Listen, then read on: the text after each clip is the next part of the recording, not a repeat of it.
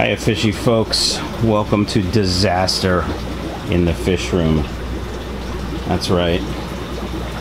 Water all over the floor. If we go back behind the scenes, you can see water all over here. Uh, I'll show you what I found. So I found water on the floor this morning. I ran the... That's not good. I ran the um, auto water change system and for five minutes and I didn't see any leak and I thought that was weird. The system runs for about 10 minutes uh, twice a day. So I ran it for 10 minutes and water started pouring out from my sump which is over here. Just a quick overview of how the water, the drain system works. All the tanks uh, drain from this tube. There's a bulkhead on the back. Water goes in, overflows through the bulk, through the uh, standpipe, then down this hose into either this three-inch drain pipe or that two-inch drain pipe. Sorry, four-inch drain pipe and two-inch drain pipe, and then into this 15-gallon sump then a sump pump pumps it into my slop sink pump, which then pumps it into the uh, house's sewer system out into the street or out into the main drain, if you will. You can see that is over full and the pump normally is attached right here. So I've had this happen once before or maybe twice before where the um, the float valve has stuck closed and so it didn't didn't actuate uh, on the sump pump there's a float valve if you're not familiar with a float valve is. It's a valve actually I'll show it to you. Make it easy. I did take the pump out to find out what's what's the problem because the pump was working. Yeah this is a problem I'm gonna have to take care of this. Um, insulation. Going back over here. Yeah, there's a lot of stuff on the floor that wasn't on the floor before, but it's on the floor now because I was looking for this this leak this morning. All right, so let's look at the pump.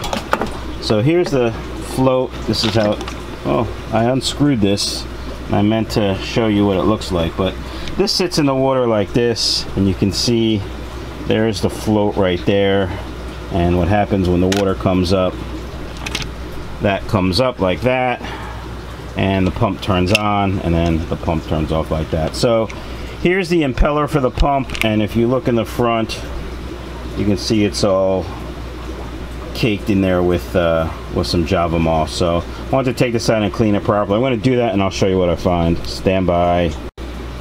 Alright fishy folks I took the impeller out and you can see the intake is completely almost completely blocked with java moss.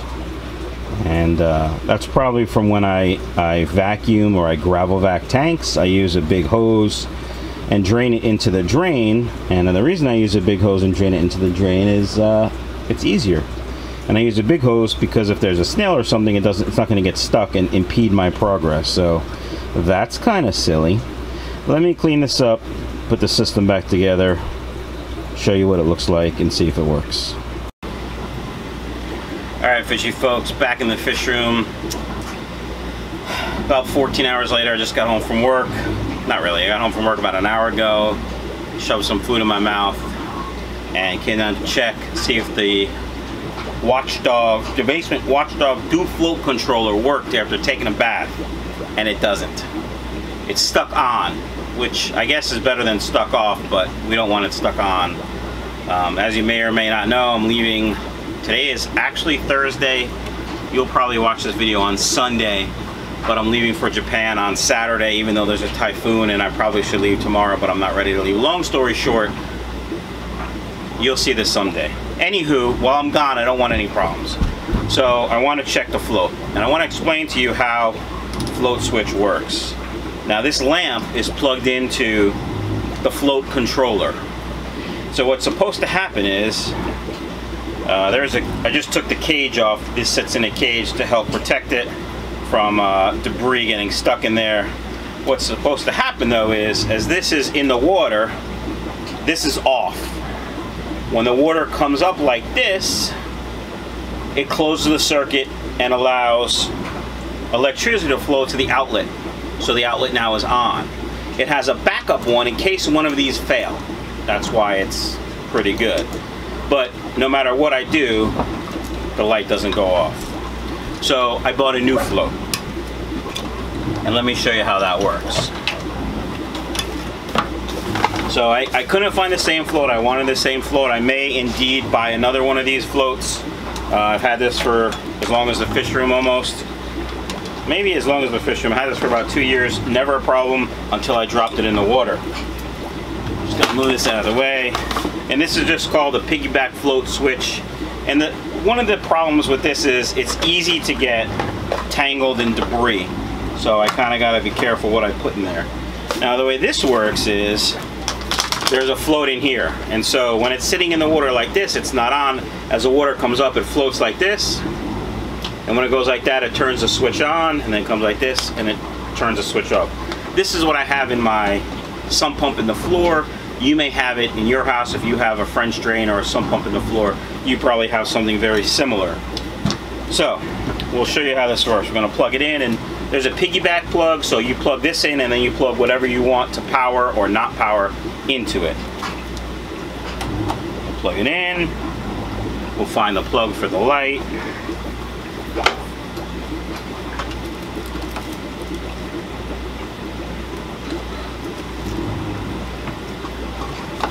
So this switches off. Now when I turn this upside down, the light should come on. Boom, the light comes on. So now it's floating because there's water in there and as the pump is pumping, it comes down and blink, light goes off. I don't know if you can see that, so let's turn it like that. Don't look directly at the light, kids. Put sunglasses on. So the water comes up, the float comes up, bink, the light goes on. Now the pump comes on,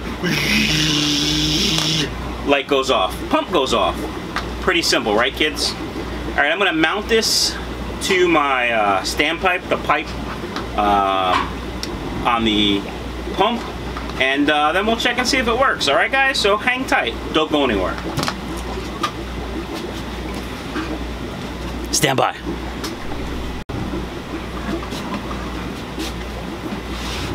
All right, fishy folks.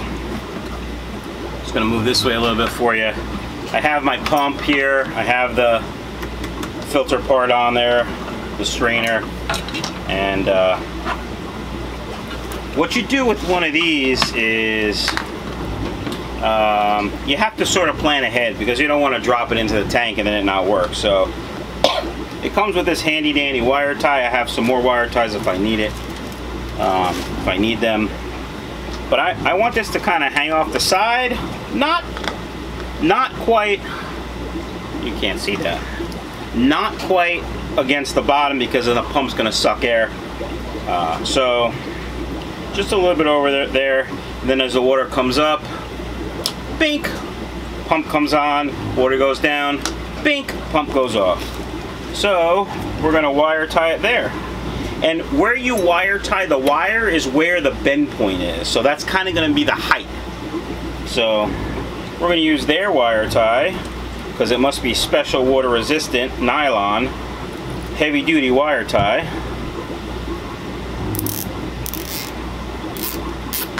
I love wire ties.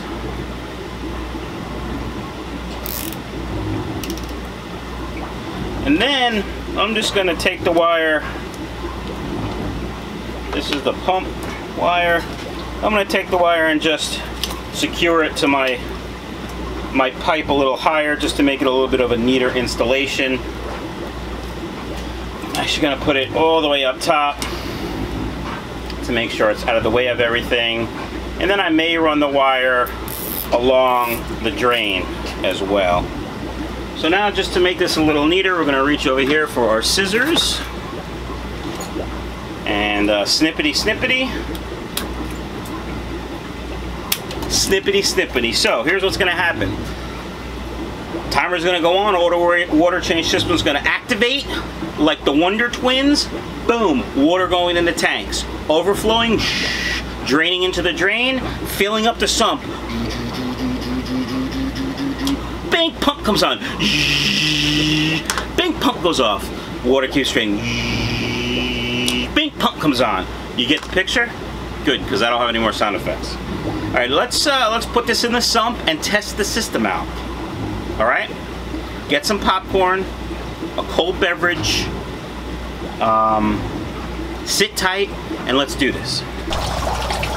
All right, fishy folks, we're back behind the works, and I don't know if you can see, but there's a float right there. Here's my wire running up, running along the pipe. I have a loop, a drip loop, and then uh, a menagerie of wires into another dangerous thing right here. Don't look at that, whatever. Now, back to over here. So, when water starts coming out as the tanks are filling, this float will lift up. Boom, pump comes on. Boom, pump goes off. The only thing I have to see, which I can adjust, is does the pump come on fast enough so it doesn't overflow? So that's what I'm going to wait and check and see, guys. So, well, I don't know why it's going in and out of focus. I wonder if it's because it's picking up the waves of the water. Anyway, got some lava rock back here. Got some, uh, oh, a soccer toy. It's wet. That's probably pretty gross. And some, uh, what is that media called? What is that called? Uh, shoot, I can't remember. Moving bed. Moving bed media? Anyway, I learned from the former king of DIY how to do that. But uh, he doesn't do DIY anymore, so we don't want to talk about that. We all know how I feel about him.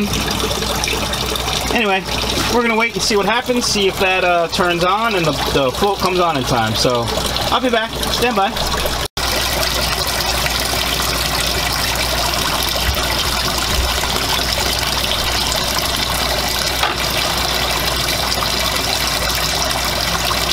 Alright, fishing folks, the pump just kicked on. A little higher than I like.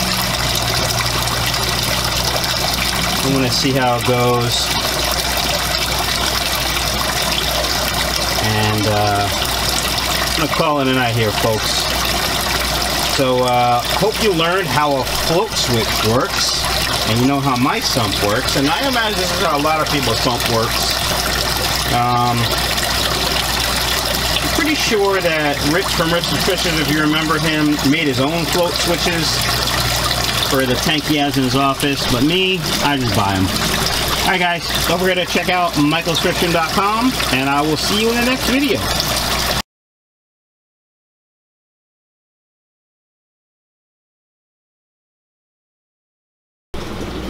Good morning, fishy folks. Even though it's not morning, that's dumb.